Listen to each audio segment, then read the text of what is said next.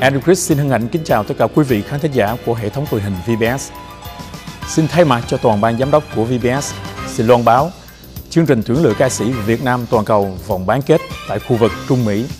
Các thí sinh đến từ các tiểu bang Nebraska, Missouri, Iowa, Colorado, Kansas, Minnesota và những vùng phụ cận.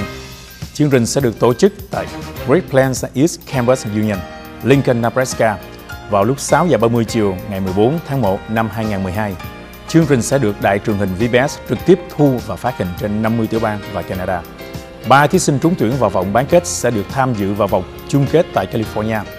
Các thí sinh ở các vùng khác của Hoa Kỳ và Canada sẽ thi vòng bán kết vào thời gian sắp tới. Chúng tôi sẽ công bố sau. Mọi chi tiết xin liên lạc về VBS. Xin tất cả quý vị ủng hộ cho chương trình tuyển lựa ca sĩ VBS được thành công.